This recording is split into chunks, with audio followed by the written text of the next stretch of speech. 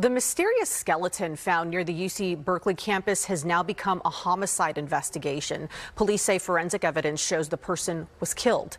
NBC Bay Area's Velena Jones is in Berkeley today talking with students and alumni about what could be a nearly 15 year murder.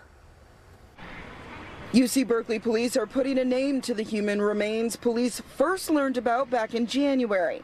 They've identified the man as 37 year old Stephen McCrary. Investigators say McCrary had no known affiliation to the school. He was last seen back in 2009. Police want to know who killed him and why. I think that that there needs to be some sort of justice served. Police are investigating the death as a homicide because of trauma found on the bones, but are not releasing any other information, including when he was killed. The remains were discovered on the Clark Kerr campus at an unoccupied building used as storage space for the university.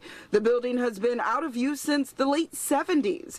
The mysterious homicide has students and alumni questioning what happened. That's horrible. That's really scary, um, especially, yeah, going to school here. It's just uh, very confusing to me. Not sure what to think of it, honestly.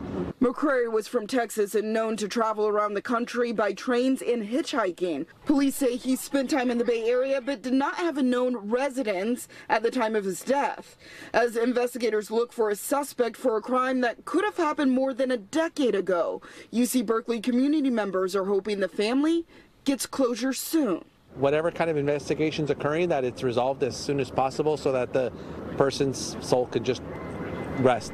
In Berkeley, Velena Jones, NBC Bay Area News.